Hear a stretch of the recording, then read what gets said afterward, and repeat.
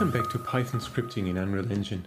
This time we're going to set texture parameters programmatically by condition.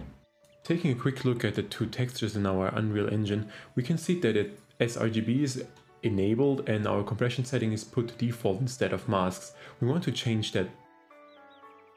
As always, we start off by importing Unreal into our scope and then define the class instance of our libraries that we want to use in the script.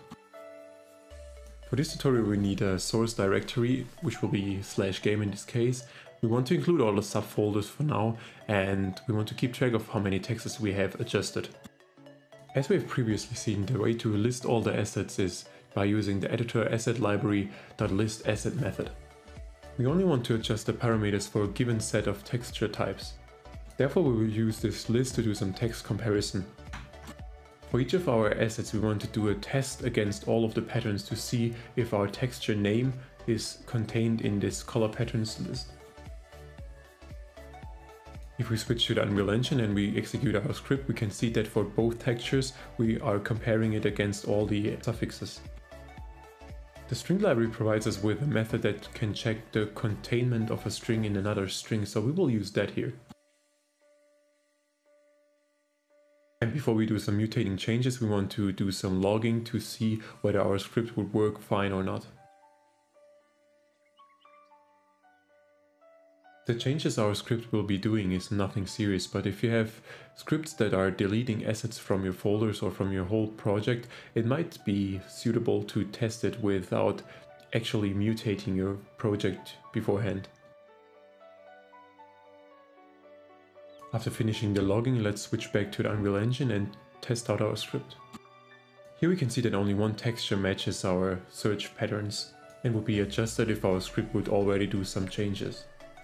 As you can see here, nothing has changed yet, so let's go back to our script and actually set the properties in our textures.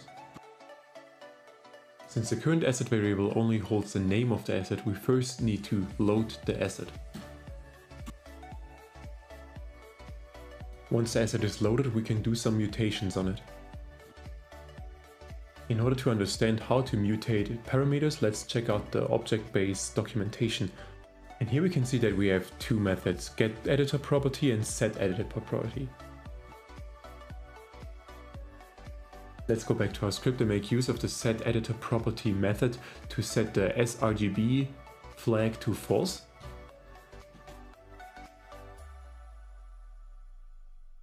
And our compression settings to TC masks.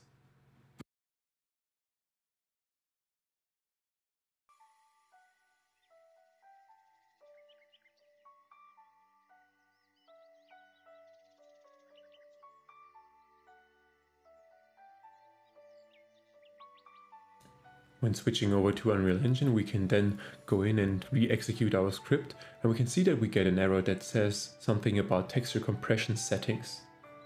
If we take a look at our text here, we can see that the sRGB element has already been unticked. So let's undo that here and dive back into our documentation about texture compression settings. Here we can see that this is an enumeration, so we need to use the actual values here, which is tc masks.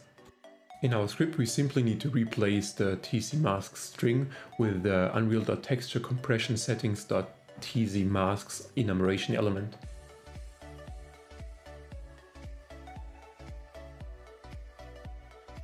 Going back to the Unreal Engine and re-executing our script, we can see that there is no error now. If we check the texture properties of our poster metallic now, we can see the sRGB is unchecked and our compression setting is set to masks. If we want to add more suffixes, we simply have to enrich this list of elements here, since all our elements will be checked against that. This concludes the script for our texture parameter setter.